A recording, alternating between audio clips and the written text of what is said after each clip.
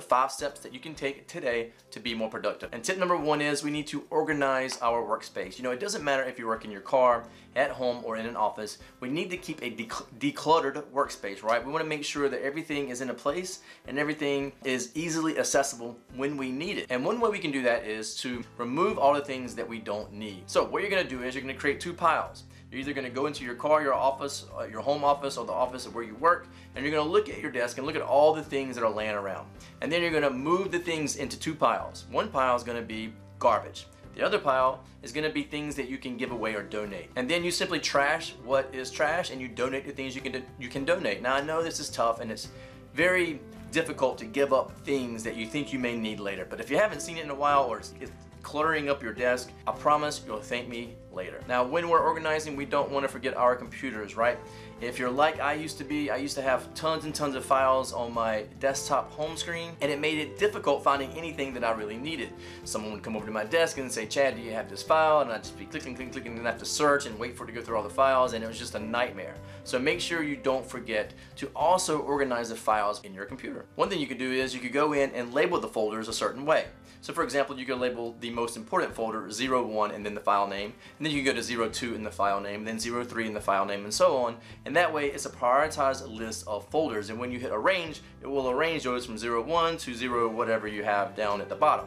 So that will give you a nice sort of prioritized list of folders that you can easily access because you know which ones are most important and which ones are least important. Another cool action that high performers take is they create workflows, so systems that they use to be more productive. Now this can be as simple as an in and an out box or it could be as simple as a calendar that you put all your important dates on. If it's that simple, that's fine. It doesn't need to be complicated or it could be a bit more complicated and go through something like a Kanban system. Now I use a Kanban system for myself. There's one back here and I use one at work as well. I love the Kanban system because it, it gives me visual cues. In other words, it's not inside of a phone.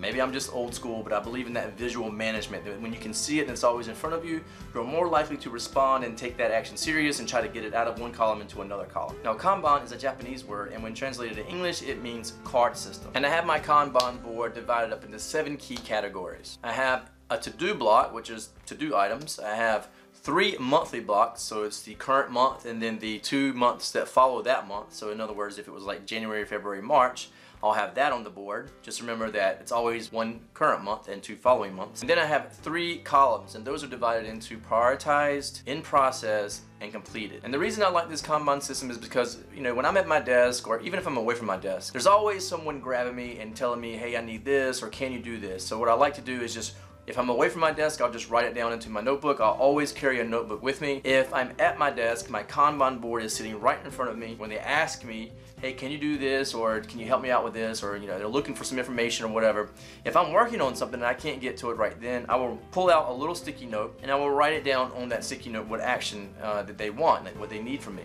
And I'll take that and put it in the to-do block. And as I start to clear things out of my in process, uh, when I start moving things from my in process column over to my completed column, then I will move that sticky note over to, you know, and prioritize it among what I have already done. So a lot of times that's gonna go at the bottom if there's a lot of things going on because obviously someone's already asked me for something, so I, you know, I don't wanna put them at the top of the list. Now, if somebody overseas, because I deal, you know, so for a global company, sometimes overseas I'll get um, requests. If that happens, it might take precedence over something that's in the prioritize column, so I might stick it at the top. But the idea is, is the idea of this is you always have your prioritized list of actions, your to-do actions, and then what's in process and then what's completed. So it's really easy to see easy to see what you complete each week. Now, what if someone comes to me and gives me something that's not really a just do it, like something that I can't get done in a couple of minutes or even an hour or two hours. It becomes like a project, right? So that's why I have those monthly blocks. So that might go into to do and then it'll sit there until I'm done doing what I'm doing and I'll pull that sticky note down, look at it, and evaluate where it should go. Is it something that is a just do it, I can get it done right away? Or is it something that I need to add to like the three month block? Is, you know, if it's January, is it something I can, get done within three to four weeks if we're at the beginning of the month? Or is it something that might take me, you know, two to three months to do and I might have to add that to March? And what I can do is go and look at those items that are in the, you know, in the project or in the monthly blocks and I can lay those out and start you know, setting project timelines and things like that. But it's always right in front of me. It sits at the back of my desk and it's always right in my face. And that's why I like this visual man management system called the Kanban. All right, so now for tip number two. do not multitask. High performers don't multitask. Despite how productive you think you are when you're working on two items is simply not true. In fact, it's impossible for us to focus 100% of our effort on two things at the same time. Now, I'm not saying you can't have multiple projects at the same time. You absolutely can, and most people do. I'm just saying that you cannot split 100% of your energy into two separate activities at the same time. And tip number three is know what time of the day you're the most productive. I mean, we have to face it, right? We are not 100% productive 100% of every minute of every day. So we need to understand what time of the day we generate the most output with the least input but still get the best quality of work. Now knowing your body and your mind in this step is very critical because you're going to need to know when you can focus on those high priority items, those ones that are going to take a lot of energy out of you. And if you know when you're the most productive, that's when you need to focus on those high priority, high energy type of activities. For example, I know that I'm the most energetic and I'm the most productive in the morning. So I set a time in the morning every day to go over my book, to plan out my day. And once I'm done with that, I even go to the gym in the morning because I know that's when I'm the most energetic. I know after work I'm not going to want to do it. And I even practice Brazilian Jiu Jitsu a few days a week in the morning at 5 a.m. because I know that's when I'm gonna have the most energy. And that actually helps me keep the energy throughout the day. So in order to be super productive, you gotta know your body and your mind to know how much energy you have at certain times throughout the day so that you can be super productive. And tip number four is super productive people use their downtime wisely. So when you have a little downtime, instead of watching another TV episode, the best thing you can do is, and highly productive people do this, they take that extra time and they work on things that have been annoying them. So maybe it's a leaky faucet that you've been meaning to fix. Don't sit down and watch another episode of House of Cards when you can be doing something a bit more productive. And at the very least, you can sit down and look through your priority list and make sure all of that is laid out like it should be. Now the point here is that there's always something to do. And I'm not saying don't have any downtime and don't have any fun. No, absolutely have downtime and have fun. But when there's things that need to be done, get that stuff done first, get it off your plate, and then you can relax knowing that all of that's been taken care of. Besides, I mean, that's what vacations are for, downtime, right? And tip number five, this is something that highly productive people do. They wake up early. If you really and truly want to up your productivity game, start waking up one hour earlier than you do now.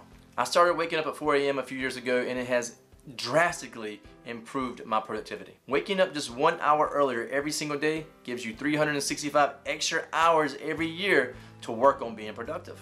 Now to put that in perspective, that's an extra nine 40 hour work weeks that you have to work on something to, that is going to be super productive. I mean, imagine what you could accomplish with nine extra 40 hour work weeks. And all you have to do is wake up one hour earlier. But you can't sacrifice sleep.